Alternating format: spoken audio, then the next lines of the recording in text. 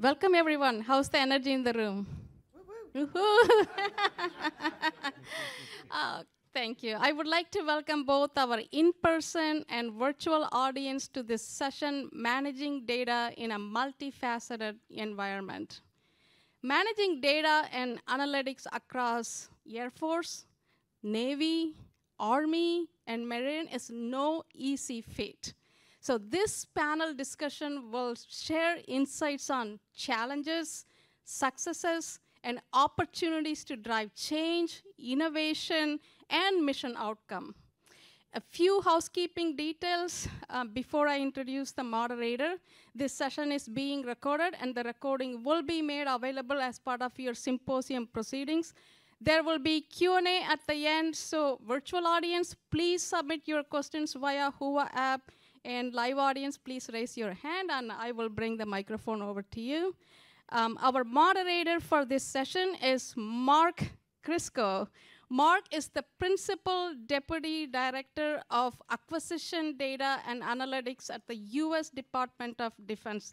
His efforts have ignited both philosophical and technological transformation in the department, advancing data driven approaches across many major programs, a portfolio of $2 trillion in investment across the program lifecycle.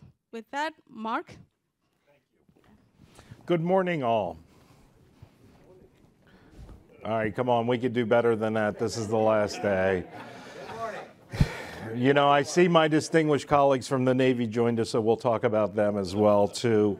Um, I know it's the last day. We're in the home stretch. It's been, it's.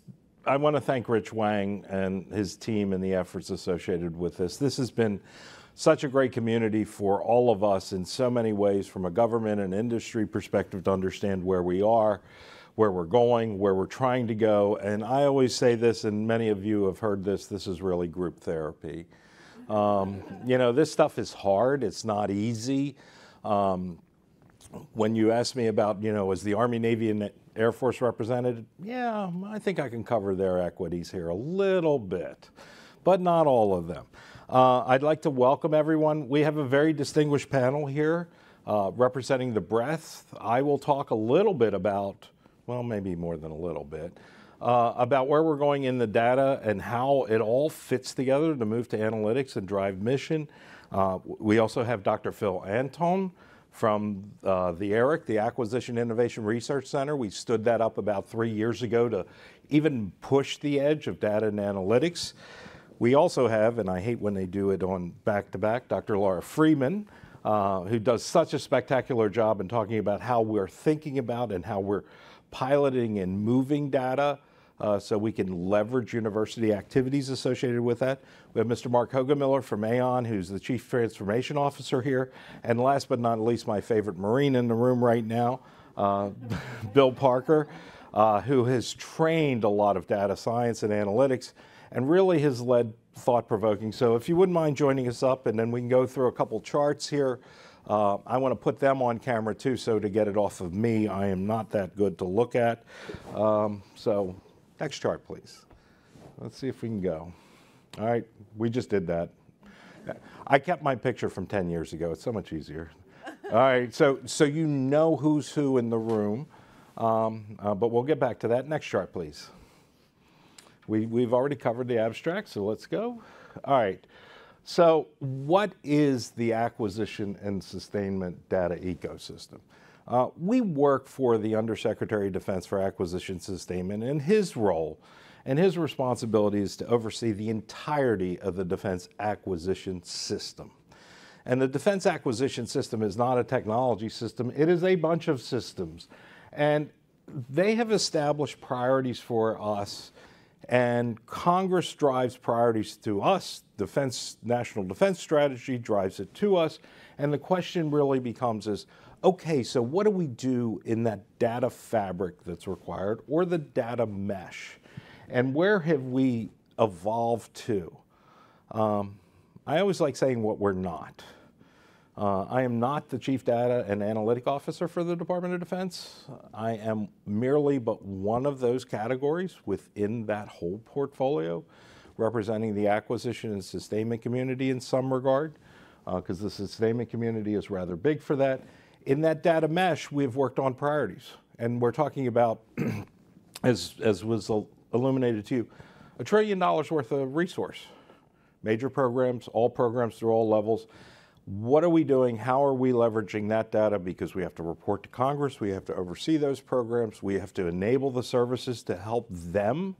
And our partnership with our services uh, colleagues have been, frankly, remarkable. And then we have new priorities, new priorities coming to us from Congress, new priorities based upon what the mission needs are of the Department of Defense. How do we manage them and how do we align them? And the data mesh concept that has been evolving over a period of time, and I wouldn't say it's new, uh, has been a good guide for us to bring our data products together. So in that whole stream of data mesh, our contribution to the CDAO is our portion of that data mesh of leading, governing, and aligning that. Um, and I will get a little bit more specific about that. Next chart. So how do we do that? Um, I showed this chart last year. It has evolved a bit. Uh, the undersecretary has to make decisions. The services have to make decisions based upon their authorities. And, you know, we've come out of a paper-based world where, you know, we would issue policy, everybody would wonder what, they, what was going to happen next. Well, in the upper left quadrant, we refactored the entire acquisition process and enabled it with processes. Well, underneath that, and the processes of different methods for the, for the services and components to buy faster, we created value streams, whether they be rapid capabilities, major weapon system capabilities, whether they be business systems, whether they be software systems, whether they be services. Giving them, it is not profoundly new, but it highlighted that you had the flexibility in the services and programs could do what they needed to do based upon the commodities that they were buying. And that process was enabled about three or four or five years ago. And in that, the underlying piece of that is the data, which is the lower right quadrant of this. What we did in our community of data alignment is looked at all of that and said, stop asking the services for the same things 15 ways. Don't ask them here for what program, and don't ask them here for what program, get two different answers and never be able to reconcile it. So we, in partnership, and I would say this, and, and Ralph is here now working the out in Albuquerque in the Air Force, and he was such a great partner when we really started this. Um, we created alignment. And I was talking a little bit about it at breakfast. We said, here's what we're trying to achieve. And our first question was, or our first comment was, don't go do this. The first question we asked the services, what should we do? We solicited their opinion and their actions of saying, how do we need to look at data and where are you in your journey? And we created an extensive partnership. And Ralph, I'll be forever grateful for your uh, efforts associated with that. But with that, their task to us was work across OSD.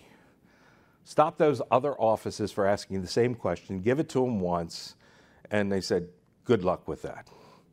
Um, I will say that is always a journey. Use what we have. Tell us what more you need. We can figure it out. And create a data management discipline at an enterprise level where we can contribute to that. Well, why?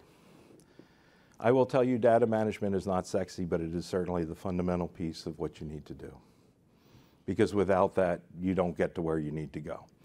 Um, many are enamored with the lower right quadrant of analytics, visualization, tools, generative AI, that's where our consumers see it. But without strong fundamentals, they go awry. People don't understand. And it drives the components of data literacy where if they don't understand why we did and what we did, it's just a visual to them. But there is a lot baked into those processes, so data literacy has always been an important role. Well, and why? It's not data for data's sake. It's not visualizations for visualization's sakes. It was to enable the undersecretary and, frankly, the services and components to do better jobs of reporting their programs, overseeing their programs based upon their authorities, looking at them in an emerging topic that we have in portfolios. And without that mission area, it's just data, just a bunch of visualizations. Next chart, please. So system overview, they always wonder, well, how do you work this all together? Yes, there is a system view. Uh, it's a lovely cartoon that says in the center hub, we have the Defense Acquisition Visibility Environment, or DAVE, and we work it based upon our core data standards, which we include in the Acquisition Visibility Framework. We share that data with open APIs to the CDAO. We give them mother's milk because we've done the governance piece of it and provide that them for other purposes. Through our partnerships with the Army and Air Force, they have decided, we have not told, that they would use a system called PMRT to use for their environment. Now the Navy has to be different. Um, yes. they have RDAIS, but we see how they are in the family portrait. And ultimately, in the end of the day, and at a senior level, all of this data ends up in Advana, which is the CDAO system for visualization and analytics and where analytics can be performed. But in this day, we've created an ecosystem of federation of systems and techniques to get to that. Um, and we think about this all the way through of how does that data move? Because when it gets there, everybody forgets about all the due diligence that happened of when it got there. Next chart.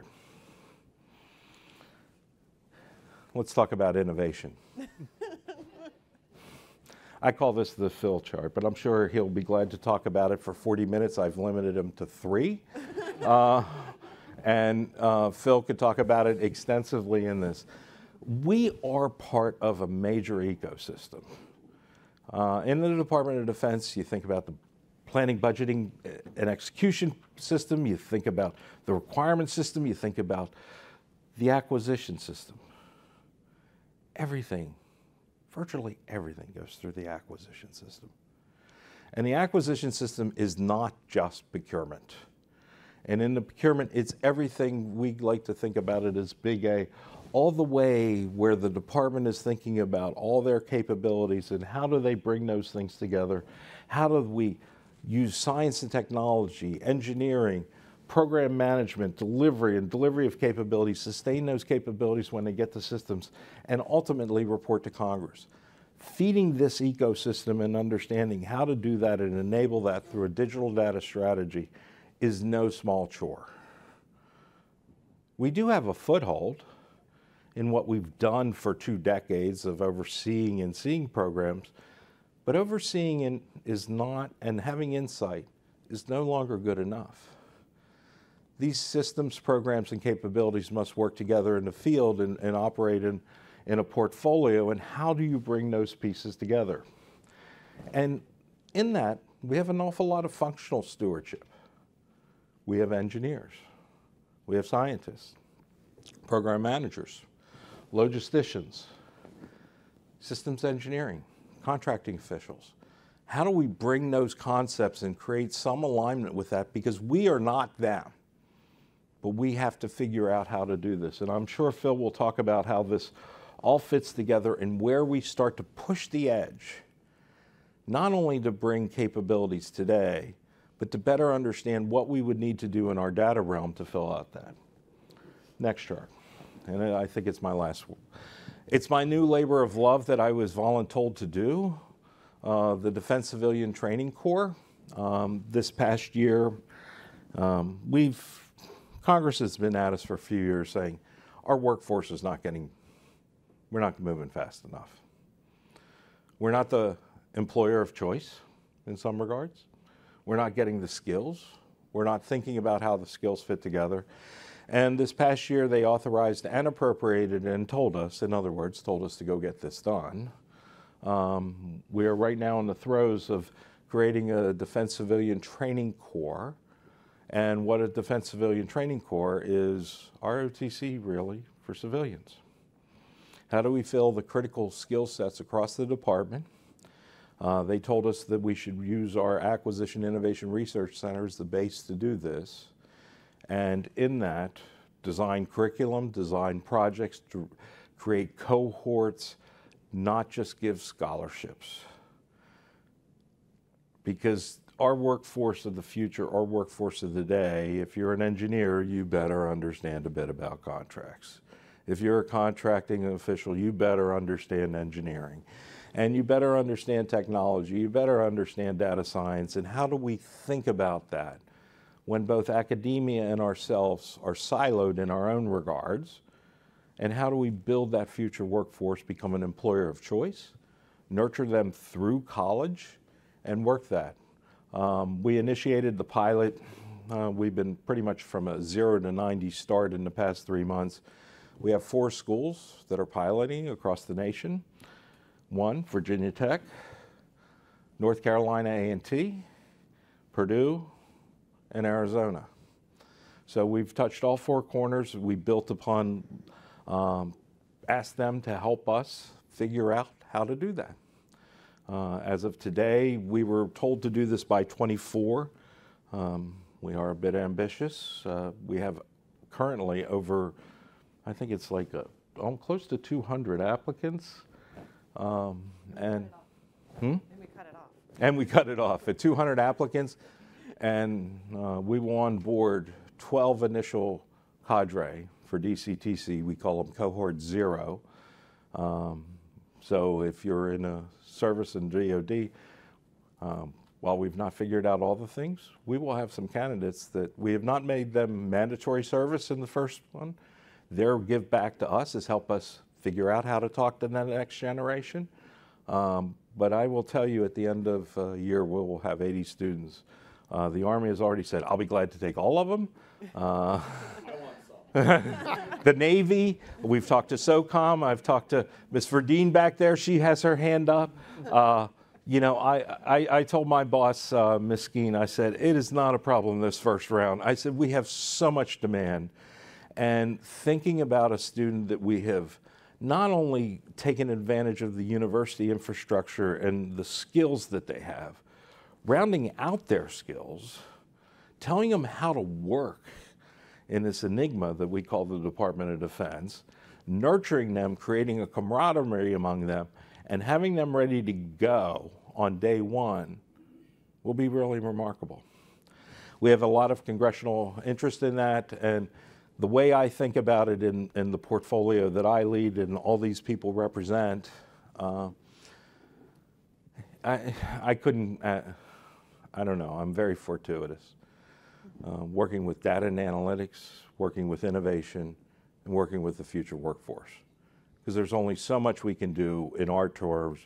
How do we lay the planks for that transition that needs to occur as we all in this room continue the journey? Uh, I talked more than I wanted, Phil. You didn't shut me up. um, but I will be glad to do that. Uh, what I'd like to do is, uh, I don't know, who wants to go first? Okay. I volunteer. Phil. Uh, next, uh, next go to the last chart because I pull up their pictures. Uh, uh, one more. There you go. Uh, so you can see who they are and where they're from. Uh, please introduce yourself, um, long or short. Be, be efficient. Uh, we, we have a lot of fun. Uh, these are some of the best people on the planet, and I am very privileged to work with them. So, Dr. Anton, let me, let me kick it off over to you and let you go first. Hi, I'm, I'm Phil Anton. I'm the chief scientist at this Acquisition Innovation Research Center.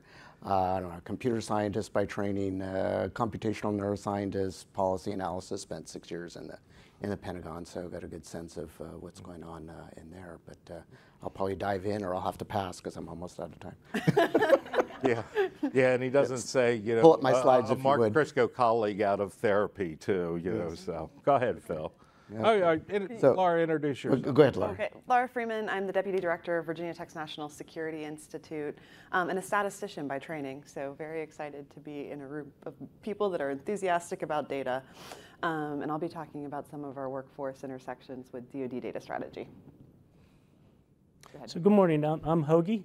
I'm the uh, Chief Transformation Officer at Aon. My background is I retired from the Navy as a contracting officer. Uh, so that's what I'm, I'm um, kind of, my background is, it got me into doing data, but I'm going to kind of provide the perspective of the, some of the things that we've been doing in supporting our federal clients in their data management journeys. Bill Parker. Um, by education would be IT software with a focus in project management.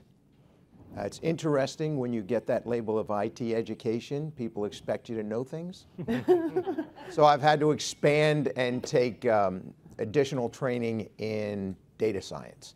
I teach at Defense Acquisition University primarily, and what we do is we train the 160 to 180,000 military and civilians, mostly civilians, in how to manage our large development contracts and how to, you don't just go and procure an aircraft carrier, right? Um, even our boots, you know, we often have special requirements. So we develop things. And I primarily teach the program managers for our largest programs. In order to stay in touch with evolution of training and education, I also teach here uh, in the Boston area, Boston University, a graduate course in IT project management, and I've taught sometimes at George Mason in their MBA program. In a really, really brilliant move, Congress directs us every five years to go embed in an organization, an acquisition organization actually doing this, so we can stay current. And right now, I am serving six months with the Navy in their business, port, business systems portfolio, which is interesting because the RDAIS feeder system that feeds a lot of our data up at the uh, department level, I'm now getting to see the struggles they have and challenges in getting those programs to feed the data. We'll talk later so I can better understand. um, Dr. Anton. Great. Can I get my slides up, please? We're working on it. Oh, slides. Slides? Yes, or, or I'll just talk. We have more slides. But anyways, so I, I love the title, Multifaceted Government Organizations. Doesn't that sound like a really easy place to solve problems? Yeah. So I was just going to highlight a few aspects of how do you actually grapple with it. If you go to the next slide, please.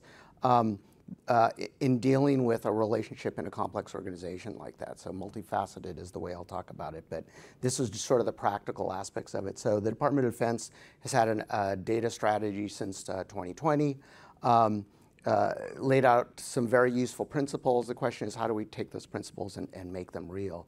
So I'm going to talk about three general areas today, sort of laying out what the strategy means for acquisition, because acquisition is, is a level down from the department-wide uh, strategy, uh, identifying some practical techniques. I'll highlight a few of those for you.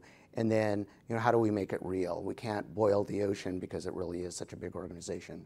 Uh, but we're looking at applying some uh, uh, actual use cases. We'll take something uh, as initial uh, areas to start in. Uh, next slide, please.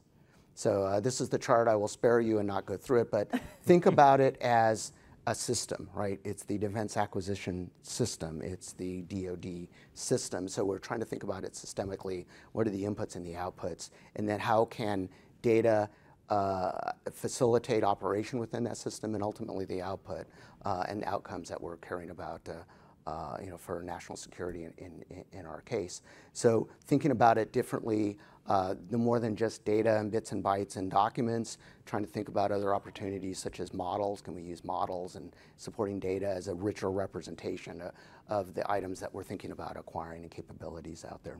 This is a list of some of the challenges uh, that, that uh, the department is facing, uh, probably facing in a lot of other organizations. I'll just highlight a few of them in, in a very stovepiped or, uh, uh, uh, entities, really focusing on their particular areas. You know, any bureaucracy has to do a divide and conquer, which introduces these complications of interactions. So how do we actually deal with that limited interoperability? Uh, it's hard to motivate the ultimate end goal, right? We need capabilities for national security. What does that mean? I'm a contracting officer. Here are the things I get uh, graded on. So, how do we think about those incentives, and we have, have some uh, research going on in there. Um, how do we improve that kind of transparency when you get a lot of love if you're having some challenges? You might much probably more uh, uh, wish that people would leave you alone let you solve the problems, but at some point we do have to share. Uh, it, it is government. Um, and there are reasons why that are, that are motivating some of these uh, disincentives to share.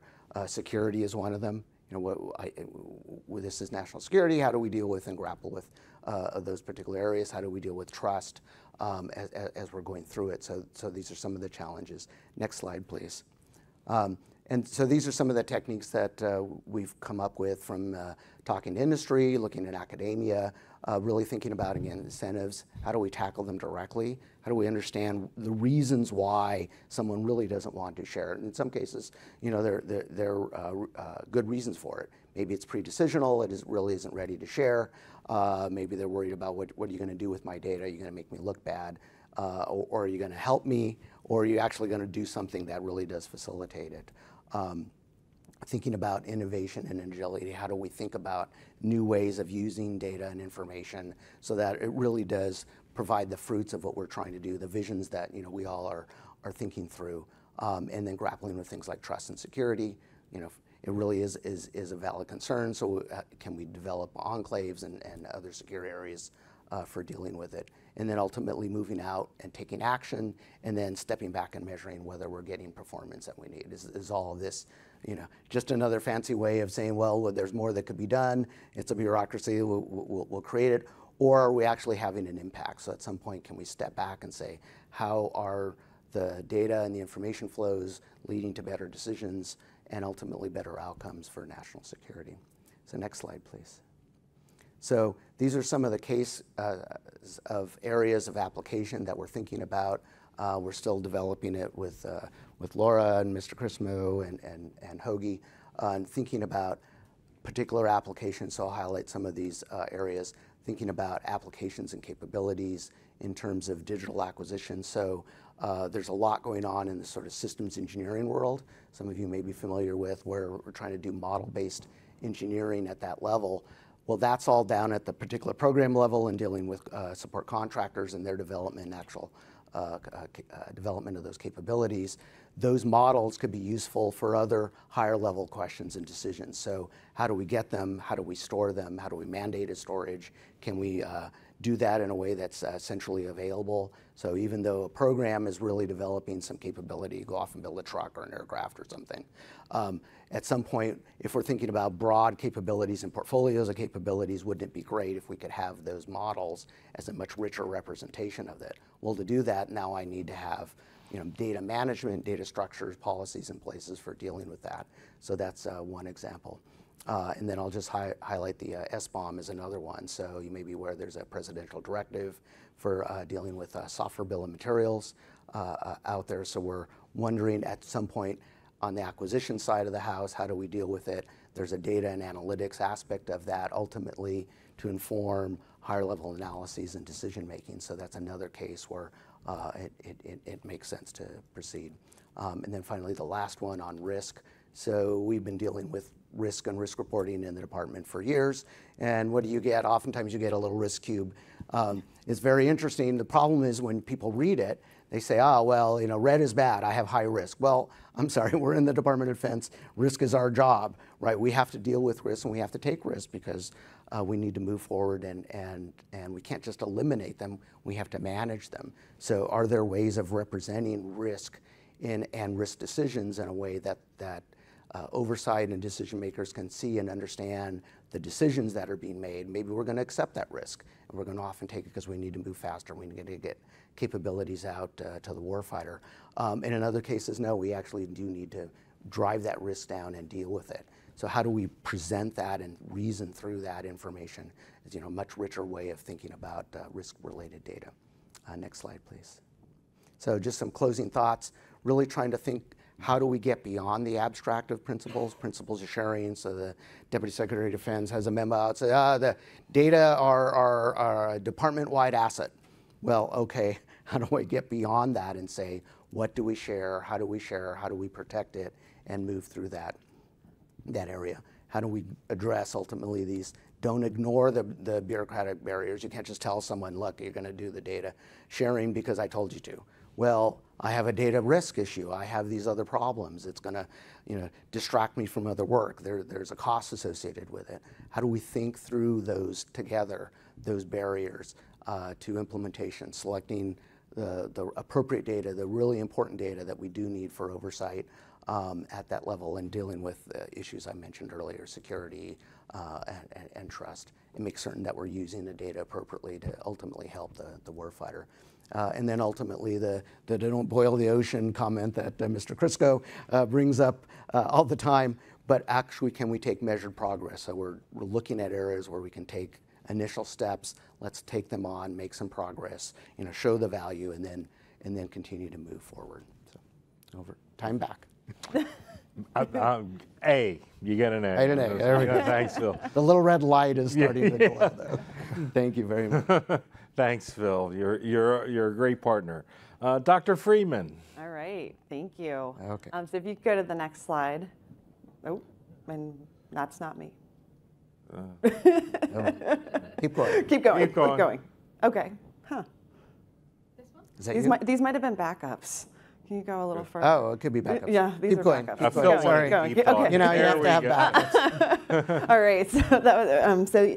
Um, I want to build on what Phil talked about a little bit in terms of uh, not boiling the ocean.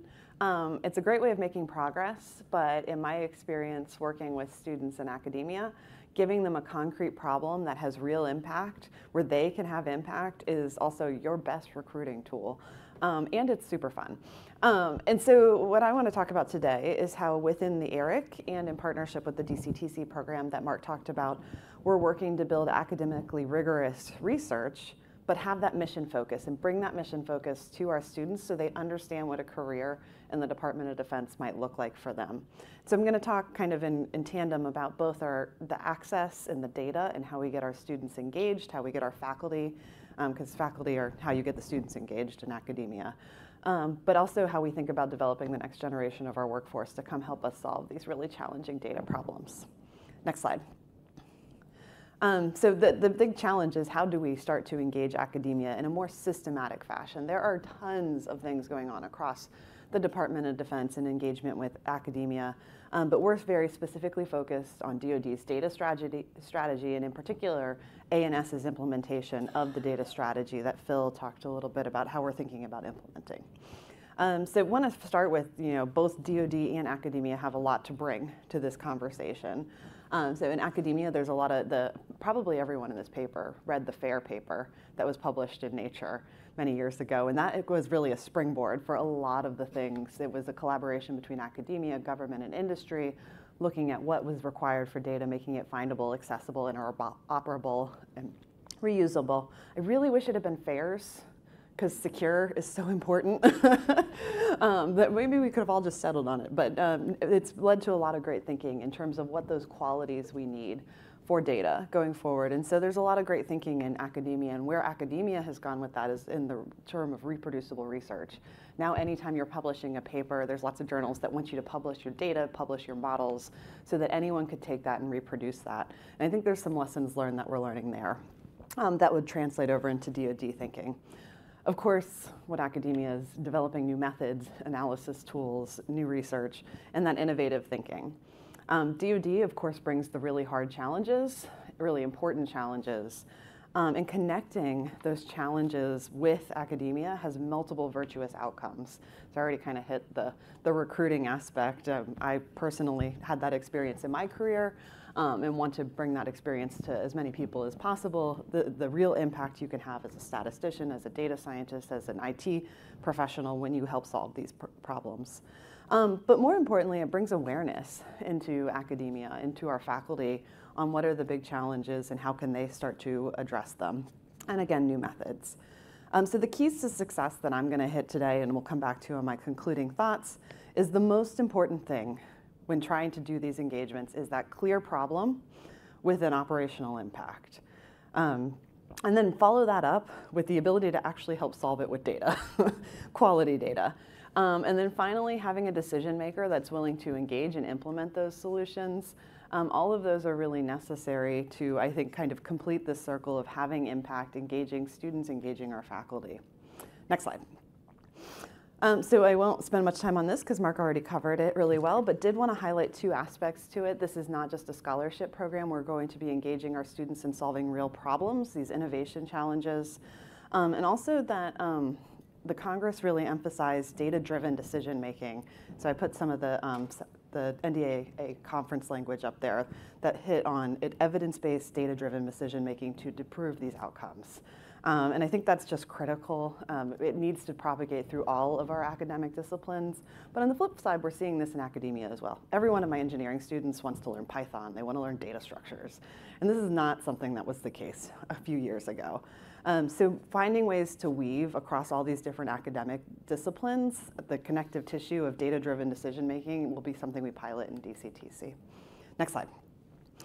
Um, ooh, sorry, this one got a little um, blurred up. But the point of this one is that we have to also break down barriers. Um, controlled unclassified information is a challenge. Getting into the real problems probably needs to be done at at least that level to make sure that we really understand the context of the problems that we're trying to solve.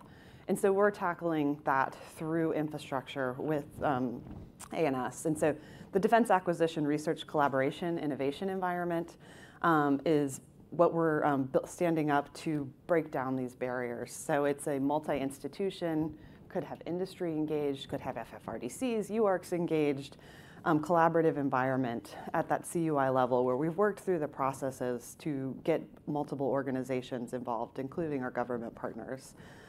Um, and essentially, it's I won't go into too much detail, but you know, with any kind of data architecture, what we're looking at is the data the analysis capabilities, and the ability to have multiple people integrated in solving problems in the, in the environment. But also we want it to be interoperable or at least compatible with DoD platforms. So if we build a new solution, we can you know, containerize it and ship it over to Advana or ship it over to PMRT. And so we're working right now to, on these use cases, having these standard deliverables that allow the interoperability of our solutions to the use cases to be deployed in other environments as well. Next slide. Um, and so some of the benefits we've seen from having this um, collaborative environment, or one was the Data Grand Prix that we ran last year, DLA and the Marine Corps Aviation um, sponsored two projects where we were able to engage academics from across multiple universities. We had seven universities and 46 different researchers involved in solving these problems.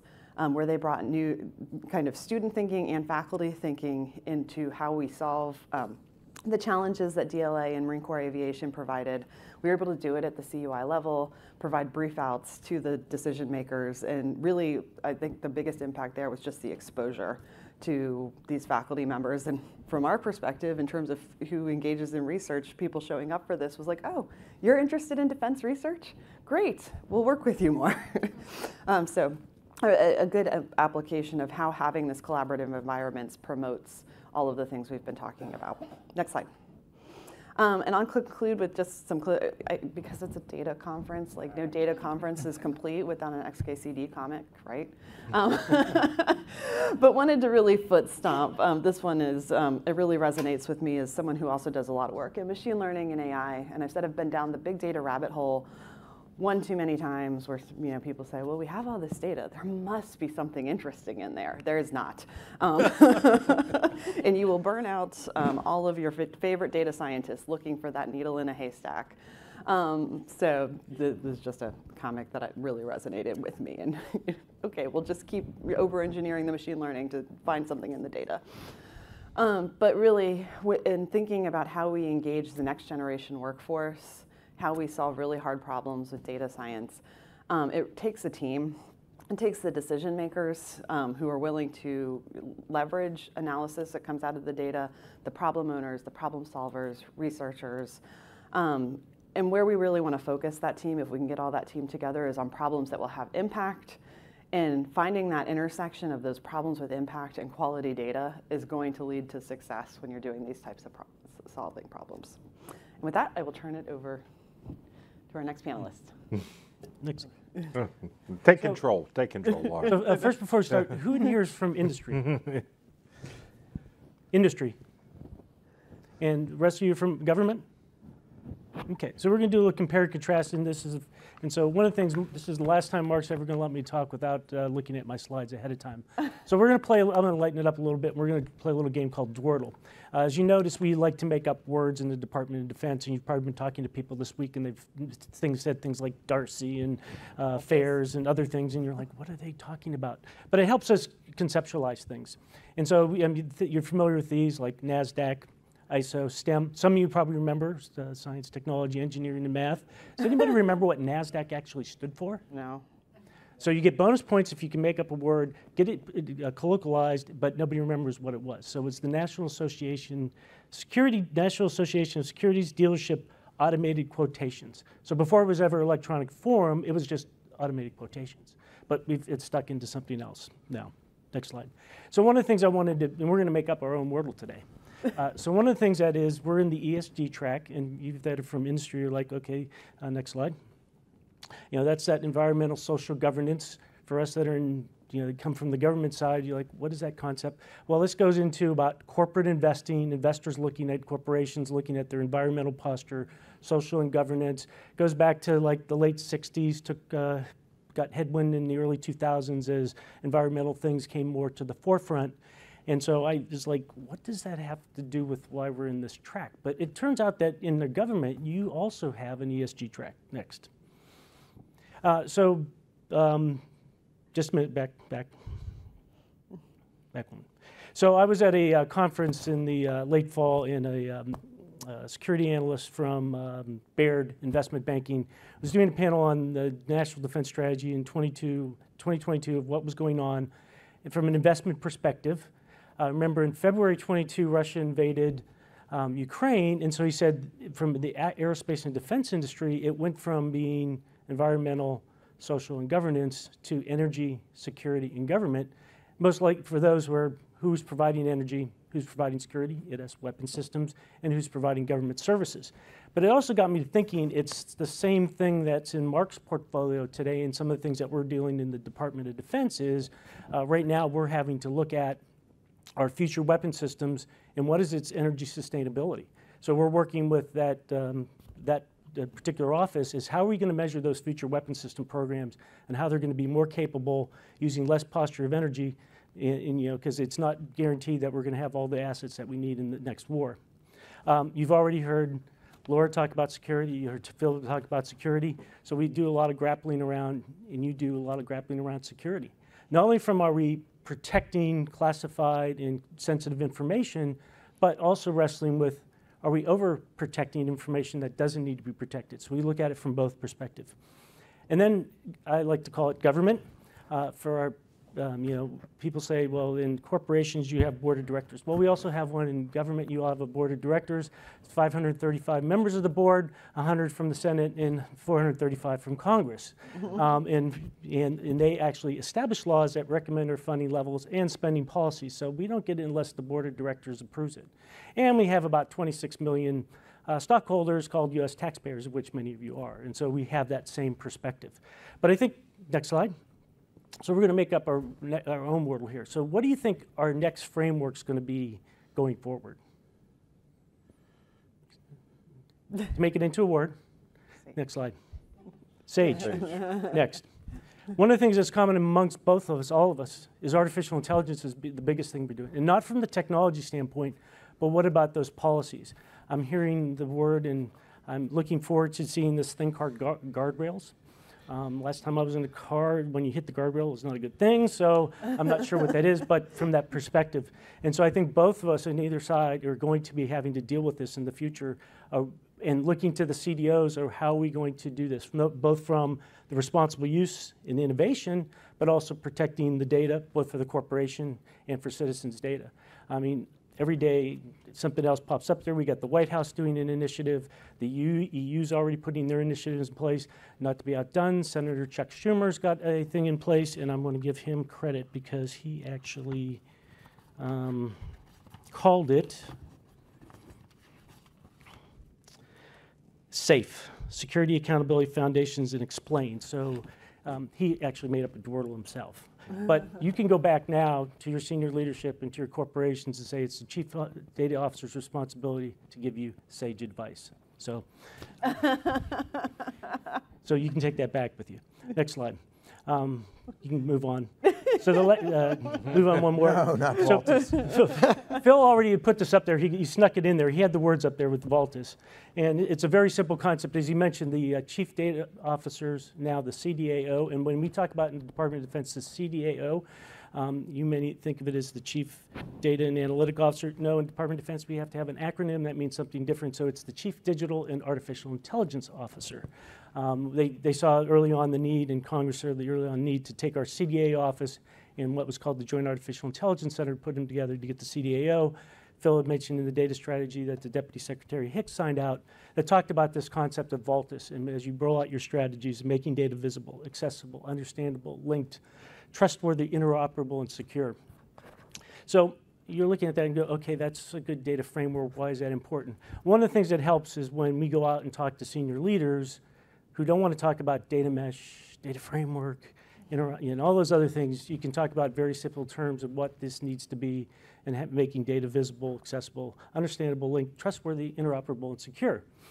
I remember I said you get bonus points if you make a word up that nobody remembers the underlying thing.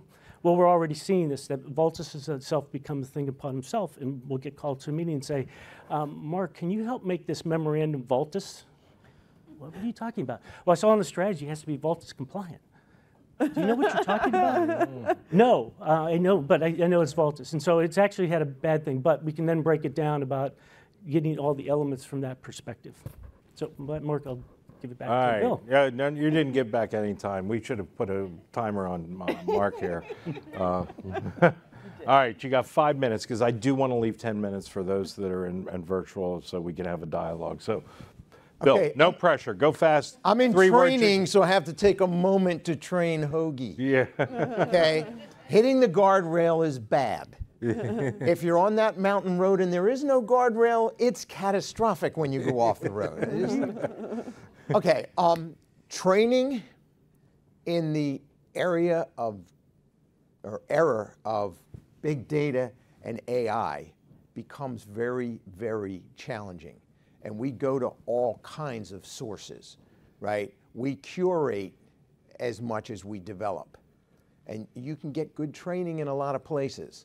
If you want to know about the ethical issues associated with data's use in artificial intelligence, believe it or not, John Oliver, who's the uh, comedian developing, delivering the news on HBO. So, fair warning, he uses too many colorful adjectives, but does a really nice job in about 27 minutes of talking about some of the issues. Um, with data in the application, you have a little more time, an hour. Uh, there's something called the AI dilemma. You can go out on YouTube and find it. I'll take a little clip to just demonstrate I, I take a little from their presentation to help demonstrate how fast artificial intelligence is now moving and what a challenge it is to keep up with the training and especially training in data because bad data equals bad decision making.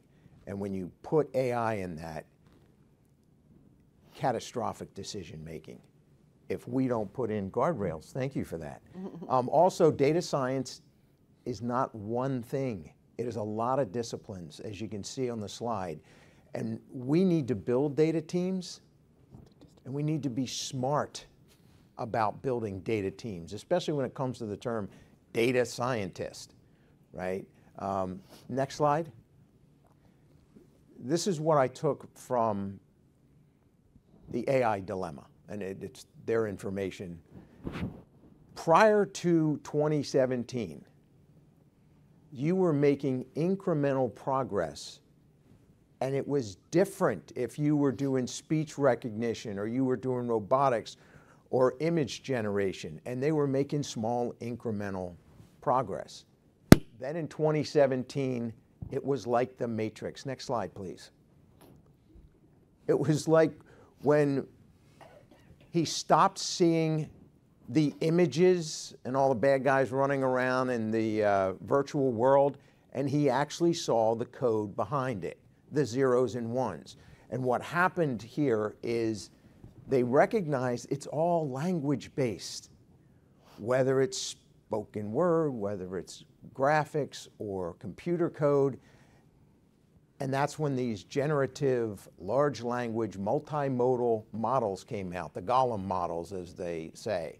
And what's scary about that is now the speed of change has just rocketed. Next slide, please. Um, I'm an old guy. How can you tell? I still like wearing a tie. I think there's only three of us, you, I, and that guy that, you know, went to take it off. Um, and the last time I wrote code was COBOL. And I think they, they like stopped teaching that in college in the 80s. So what I've done in order to better understand what we're doing with data analytics, I took an intro course in both Python and R. So when it comes to these languages, I'm a rookie. I tried getting it to write code in R for me in ChatGPT. I wasn't good enough, but Bard, I got it to do so. And shout out to my statistician. I asked it to write code for me for multivariate analysis of variance with two categorical independent variables and three dependent variables. Bam. It generated it. Here's the problem for us going forward and the real challenge is I'm a rookie. How do I know that's correct? How do I know when all these data generated answers aren't hallucinating, as they like to say, with the, the new AI? I was able to take this and put it in Notepad, which very cool about learning languages today. It corrects your syntax, and it was correct. But in training, oh, AI is going to do the simple tasks, so we'll do the really complex tasks. If we don't grow the people to be the experts to know when it's incorrect, we're going to be at the mercy. And all of this is based on where the data is coming from. Next slide. Um, we're starting to do advanced analytics within Advana. We're just starting to get there in defense. Um, you know, of course, we weren't using Golem models. We were happy with natural language processing, right? Uh, we would take all the reports from a PM, and based on the language they used, we could actually forecast with pretty good accuracy whether their program was trending up or starting to trend down in cost and schedule and scope. Next slide, please. Uh, next slide, please. Um, just know when you're talking about building a data science team, and, and I've seen this in a couple bad ways. Oh, we hired a data scientist, and I went over and talked to them, and they knew R, they knew Python, they knew machine learning. What were we having them do? build dashboards in Qlik. A, you're paying too much for that data scientist talent and you're not employing them. So you're not getting the benefits, their skills are atrophying. You need to understand who you're hiring because that term gets associated with a data engineer, which is in this room, somebody we need, the data analyst or data scientist who has the statistical knowledge and the programming knowledge, and then a visualization specialist who is somebody that, you know, can make Qlik or Tableau work for you. We need to understand who we're hiring and where the overlaps are because you're not going to find the person that knows it all, at least not very well. I think that's it for me. All right, I'm going to stop you because we got six minutes here. All right, you can. I debated in college, so you can really give us fast questions. We'll turn them around quickly. We'll we'll maintain the arguments. Any, anything from anybody uh, virtually? Somebody's going to have to help me virtually, or anybody from in the audience, please. I was going to ask about this digital modeling. Can you tell us w- what you mean by that? SysML, UML models? What? Yeah, it, it, exactly. Yeah, the models that the engineers are using to build the actual Okay, system. thank you. taking It wasn't clear for capability. your description. Yes, sir. Hi, thanks. Thanks for the presentation. Amy Grace Pratt and Whitney. Um, one question I have, are you considering the way that, uh, changing the way um, we contract? For example, a lot of our CDRLs are asking for PDF files. And, you know, and even if you asked for data in a way that was like a data product that could be interchangeable, even the work um, specification that would have to identify collecting the data to enable us to be able to produce it in that way. Any thoughts? Ye- Yes, so there are lots of discussions with the contracting folks about what exactly information they need. Do they have to change anything on their side? And a lot of what they're saying is, yeah, but the engineers have to tell us how to describe the deliverables. So there is a lot of movement afoot on changing those contract mechanisms so that we get the information in the, in the way we need it, not the standard way that the CDRLs are written today. Yes. I understand about the models, but cost, being able to understand the cost and affordability. Right, yeah, so, so getting data, you know, CAPE data, for example, um, we've really done for years on, on getting, and understanding their costs, but uh, uh, continuing to gain information on that, because that, that is very helpful as we think of the future, as well as the current systems. A couple notes on that. Uh, the technology is to the point where you give me a PDF, I can scrape that data and put it in a format I need. There's other. There's also this problem that I see on both sides, and I have to train students on this. We're still using PowerPoint, similar to providing a report in PDF. Why aren't you using live data? they'll say they're worried about the machine going down.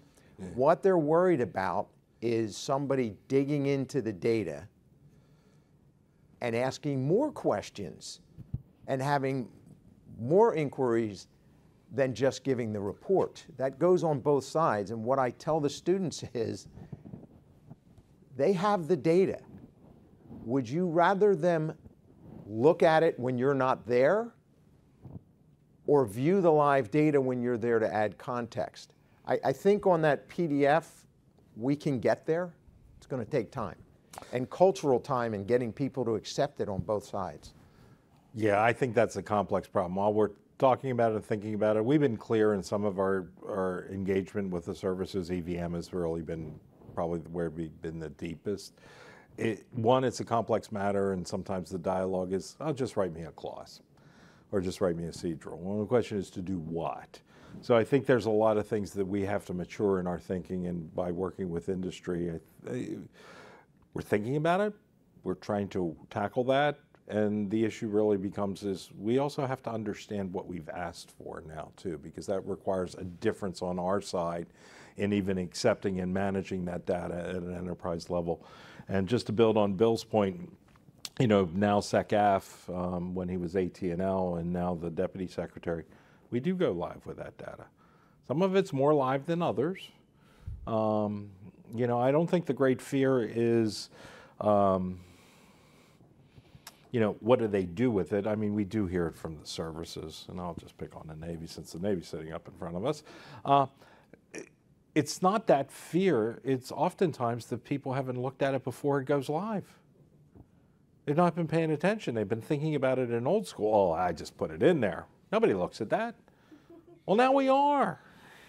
And for different purposes. We're really not trying to replicate their roles. We're trying to do a different role. Look at portfolios and think about that. Other questions? Any Sorry. other questions? Any from the web? Um, Oh, you yeah, got it. Questions?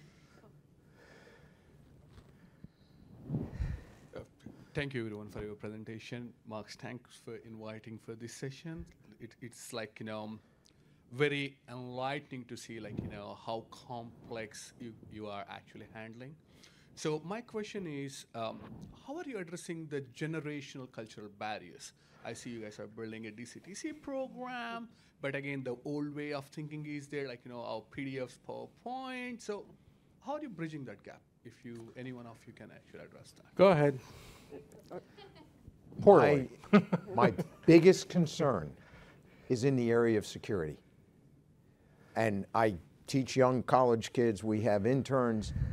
They're so used to their entire lives being out there on social media. Their thought is, ah, pff, everybody knows everything anyway. Why are we bothering to protect? Which somebody in our business, that makes me very nervous. And, and how to strike that balance is very, it's very culturally challenging. So a little bit of small batch whiskey, I like to say it. It's one person at a time. It's hand-to-hand combat. You know, you do a product, and you, if you have a data scientist or somebody that's very talented or in the manipulation and understands all the rhythms of pulling it together, you do 85 or 90 percent of their job. You hand it to them. You say, "Here's how it works, and here's what it does," and let them carry it forward. Um, some generational gaps we'll never be able to bridge um, and some things we're building for really next generation. And I think that's why we have to get through that because um, some people are not going to be willing to take those skills. You know, Bill went off and learned new skills. I go off and learn new skills. I find that fascinating. That is not the entirety of the workforce. Uh, and the question really is, is can we build planks and on-roads? And it's going to require some help. So if you're a data scientist, you're a data analyst, in your, your realm, your job is not only to do your job, your job is to help that end person do their job better and help them understand why. And some of that's hand-to-hand combat right now. Yeah, we're also doing a lot of micro-credentialing and learning and literacy learning so that, you know, existing workforce can understand what the new workforce is telling them and, and they're not either talking past each other or misleading each other. And we need to listen to the new workforce. Uh, example, we mentioned earned value just a second ago. We have an entire industry for earned value. Here at Boston College in their MBA program, they dropped managerial and cost accounting. They don't even teach it anymore. Instead, they're teaching them R, Python, SQL query language, and machine learning because we're moving past some of that. And I think we need that fresh thought to help us move. And I have a question. As you are training and cultivating these future data leaders, how much emphasis is put on soft skills, emotional intelligence, people, you know, behavior and so on? Because I, I, I hear a lot about technological skills, data science, data engineering, and everything. But I want to That's a great question, and I think multifold answer. But um, I think most of the outside of the classroom activities that we do are soft skills. Um, we're really focused on interdisciplinary teams um, and doing experiential learning projects, which brings students from multi-academic disciplines together to solve hard problems. Um, and teaching them about question asking, leadership. How do you engage a, a, this kind of team? How do you go talk to people outside your comfort zone? Um, all of those types of things to be successful. And also security things, like what you should not put on your social media platform if you want to go work in the DoD. but yeah, all of those, I think, kind of the, the holistic student experience is really important. It is not necessarily tackled by traditional academic backgrounds, and so through DCTC, through some of the capstone projects that we do, we bring our students in contact with the actual problem owners, which again kind of helps that generational transfer of information as well, because it's the people that own the problems that are in senior leader roles that are coming back to work with the students, and the students are learning how to be a professional through those types of experiences. Great. great. I only heard security 100 times. Yeah, I want to build on that because it is, and it'll be the last word, it is a passion. What's the number one skill of a data scientist? Storytelling. Storytelling. And to be a good storyteller, it is not technical skills, it's communication skills. And at some point, being classically trained in communication and leading some of these efforts, it doesn't fit in curriculum today. We have got to help ourselves communicate effectively. And storytelling is, is the key. Thank you all for your time and attention. I, I hope this was good. Thank my the panelists. Great job.